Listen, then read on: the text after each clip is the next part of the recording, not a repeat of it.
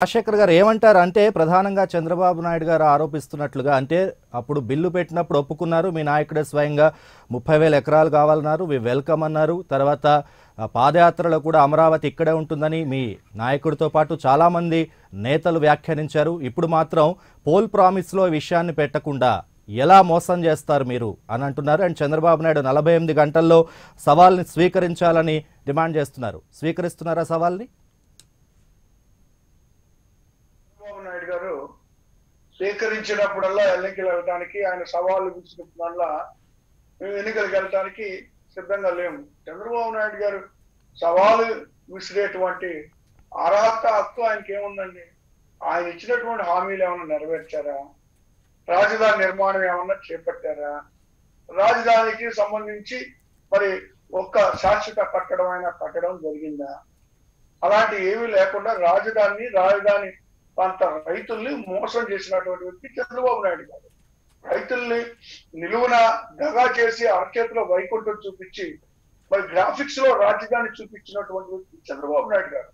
ఆయనకి ఏం అర్హత ఉంటుందండి దాని గురించి మాట్లాడడానికి? రాజీనామాలు చేయాల్సిన అవసరం మాకేముందండి రాజీనామాలు చేయాల్సిన అవసరం? వాళ్ళు రాజీనామాలు చేయాలి. ఫస్ట్ వాళ్ళు రాజీనామాలు చేయించి వాళ్ళు ఎన్నికలకు రమ్మనండి తెలుసుకుందాం.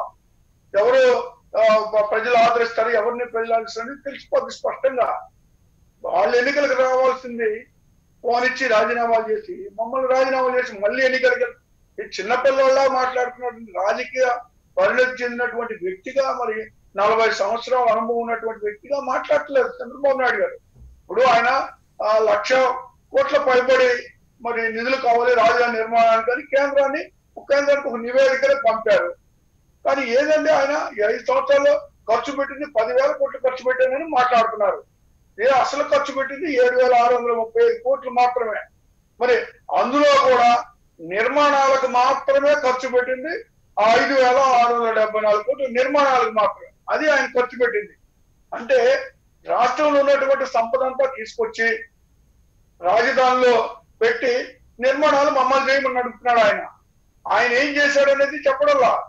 కాబట్టి రాష్ట్రంలో ఉన్నటువంటి ఆర్థిక పరిస్థితులు ఏంటి?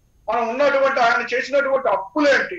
తొంభై ఆరు వేల కోట్ల రూపాయల అప్పులతోటి వచ్చినటువంటి విడిపోయినప్పుడు తొంభై ఆరు వేల కోట్ల అప్పు వచ్చిన రాష్ట్రం మరి ఈ రోజు రెండు లక్షల అరవై వేల కోట్ల రూపాయలు ఈ అప్పులకి వెళ్ళిపోయి కేవలం వంద కోట్ల రూపాయల ఖజానాలో వదిలి ఆయన ఇప్పుడు లక్ష కోట్లతో రాజధాని కట్టమని కానీ. రాజశేఖర్ గారు రాజశేఖర్ గారు రాజశేఖర్ గారు. అంటే మీరు చెప్పిందే నిజం అనుకుందాం. సరే పదివేల కోట్లు ఖర్చు పెట్టామంటున్నారు కానీ ఆయన ఖర్చు పెట్టలేదు ఏడు వేల పైచీలు కోట్లు ఖర్చు పెట్టారు అనుకుందాం.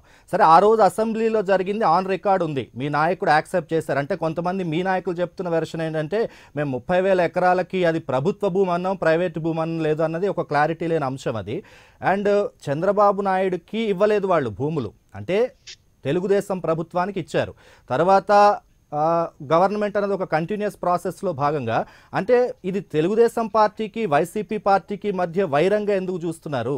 అంటే వైఎస్ఆర్ ఇప్పుడు అవునన్నా కాదన్నా తర్వాత మీ పార్టీ అధికారంలోకి వచ్చింది కాబట్టి వాళ్ళకి న్యాయం చేయాల్సిన బాధ్యత మీ మీదే ఉంది. అంటే మీకు చంద్రబాబు నాయుడు మీద కోపం ఉంటే మీరు రాజకీయంగా చూసుకోండి కానీ ఇప్పుడు ముప్పై వేల ఎకరాలు ఇచ్చిన రైతుల భవిష్యత్ ఏంటి?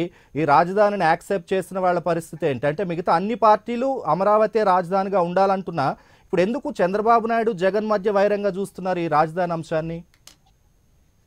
సార్ ఇక్కడ చంద్రబాబు నాయుడు గారు లేకపోతే మరొకరు అని కాదండి. రాజధాని నిర్మాణం అనేటువంటి అంశం మొదటి నుంచి అనేక లోపాలతోటి అనేక అవినీతితోటి చోటు చేస్తున్నటువంటి అంశం. దాన్ని ఒక అవినీతికి అడ్డాగా మార్చినటువంటి వ్యక్తి చంద్రబాబు నాయుడు గారు. ఈరోజు ఆంధ్రప్రదేశ్లో మరి ఏ విధంగా అవినీతి జరిగింది అనేటువంటిది చూస్తే ఆ నిర్మాణాల్లో మరి కేవలం రెండున్నర వేలు మూడు వేలు స్క్వేర్ ఫీట్ ఉండవలసినటువంటి నిర్మాణాలు పడి అది చివరికి అది వెళ్ళిపోయి పన్నెండున్నర వేల కోట్లు పన్నెండున్నర పన్నెండు పన్నెండు వేల ఐదు వందల ఐదు ఐదు వందల రూపాయలకి ఆయన స్క్వేర్ ఫీట్లు పెట్టినటువంటి పరిస్థితి స్పష్టంగా అంటే టీడీపీ కాదు రాజశేఖర్ గారు. అంటే మీరు అన్నట్టు లేదు. రాజశేఖర్ గారు అంటే మనకి స్ట్రైట్గా మాట్లాడదాం. లేదు స్ట్రైట్గా? మాట్లాడదాం. రాజశేఖర్ గారు అంటే మీరు జగన్మోహన్ రెడ్డి గారు అసెంబ్లీలో స్పష్టంగా ఏం మాట్లాడారండి? రాజధాని నిర్మాణానికి ముప్పై వేల ఎకరాలు కావాలన్నమాట వాస్తవం. కానీ అది ప్రభుత్వ భూమి అయి ఉండాలి. తర్వాత వచ్చి రాజధాని అటువంటి అంశాన్ని ఆల్రెడీ ప్రకటన బయట చేసిన తర్వాత ఇక్కడికి వచ్చి అసెంబ్లీలో ప్రకటన చేయడం అసెంబ్లీలో తీర్మానాలు చేయడం ఏంటి? వాస్తవంగా మాట్లాడితే అసెంబ్లీలో తీర్మానం అయిన తర్వాత అసెంబ్లీలో చర్చ జరిగిన తర్వాత రాజధాని ప్రకటన జరగాల. కానీ చంద్రబాబు నాయుడు గారు అందులో కూడా ఇన్సైడర్ ట్రేడింగ్ చేసిన తర్వాత వాళ్ళందరూ కూడా ఆయనకి సంబంధించినటువంటి వ్యక్తులు ఆయన వర్గం అంతా భూములు కొనుగోలు చేసి దళితుల భూములు తక్కువ ధరకు కొనుగోలు చేసి తిరిగి దాన్ని సిఆర్డీఎఫ్ పరిధిలోకి తీసుకొని ధరలు పెంచుకున్నటువంటి రాజశేఖర్ గారు నాదొక పాయింట్ ఇక్కడ. లేదు లేదు. అంటే మనం అంటే సార్, గతం మనం అంతా విషయం కూడా మాట్లాడే. బదులు ఇప్పుడు ఇప్పుడు ఇప్పుడు లేదు ఇప్పుడు ఇష్యూ కన్ఫైన్ అవుతారు చంద్రబాబు రాజశేఖర్ గారు నా మాట వినండి. స్పష్టంగా దయచేసి నా మాట. వినండి. రాజశేఖర్ గారు. రాజశేఖర్ గారు దయచేసి నా మాట వినండి. లేదు లేదు. ఇప్పుడు మీరు అంటున్నారు. రాజశేఖర్ గారు లేదు లేదు. నా మాట వినండి ఒకసారి ప్లీజ్. రాజశేఖర్ గారు ఒక్క నిమిషం నా మాట వినండి. నా మాట వినండి. మీరు మీరు అంటున్నట్టుగానే అవినీతి జరిగింది అనుకుందాం. ఇన్సైడర్ ట్రేడింగ్కి వాళ్ళు పాల్పడ్డారు అనుకుందాం. వాళ్ళని ఎవరైతే ఇన్సైడర్ ట్రేడింగ్ పాల్పడ్డారో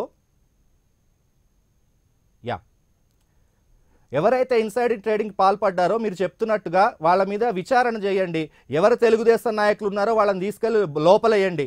వాళ్ళ మీద చర్యలు తీసుకోండి కానీ ఆల్రెడీ కేటగారికల్గా ఒక డెసిషన్ తీసుకున్న తర్వాత సాక్షాత్తు ప్రధానమంత్రి వచ్చి శంకుస్థాపన చేసిన తర్వాత ఇదే రాజధాని అని ఆల్రెడీ నోటిఫై చేసిన తర్వాత ఇందాక మీరు ఒక మాట అన్నారు అంటే అసెంబ్లీలో ఎలాంటి చర్చ లేకుండానే నిర్ణయం ప్రకటించారని. అంటే మీరు తీసుకున్న నిర్ణయం ఎలా ఉంది?